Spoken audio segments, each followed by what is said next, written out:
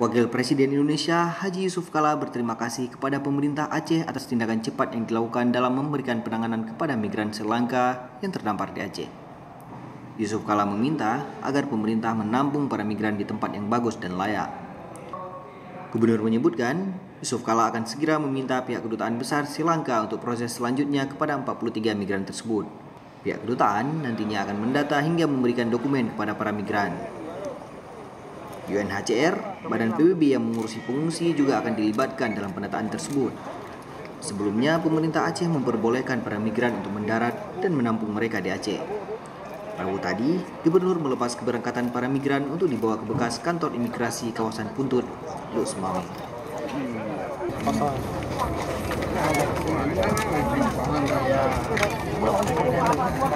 Oke. Bye bye. Abu hampir hampir dua minggu eh, hampir dua minggu mereka ditempatkan di sini uh, seperti ada lamban penanganan oleh pemerintah. Sebenarnya apa penyebabnya?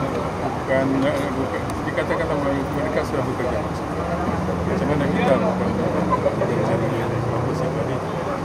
Sementara apa yang kita lakukan adalah board mereka. Kan board itu berusaha berat untuk coba supaya ini bisa berjalan. Sampai tapi, berapa lama? tapi yang kenyataannya dia bisa dipakai lagi. Ya, kita tidak tidak apa membuat uh, mengambil risiko kalau kita perangkatkan dengan bot dan begitu mereka akan apa tenggelam ataupun ditumbangkan dengan angin dan macam-macam. Kan risiko besar. Maka ini menyangkut nyawa manusia atau manusia. Kita bisa begitu aja putuskan supaya cepat. Untuk apa cepat dan tidak ada hasil yang baik. Ini akan safe- di mana, Safety, safety yang yang paling penting. Maka akhirnya diambil kesimpulan juga kena sudah kepada pemerintah. Kita ambil kesimpulan sekarang adalah mereka pindah ke tempat yang lebih layak, lebih bagus. Di mana lokasinya? Lokasi Di Dua Semai. Di di di di untuk di di di Phuket. Berapa lama akan ditampung di Luk Semawe? Se- Kita harap tidak. Anda tadi sudah dapat kabar, bahwa pemerintah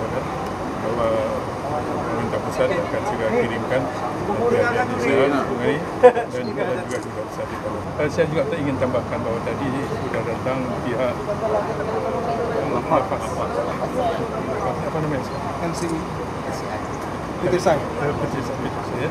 Mereka datang kemari, mereka memberikan apresiasi yang tinggi kepada pemerintah Aceh. Ya. Kepada kita, mereka juga telah membantu. Juga kita mengapresiasi mereka.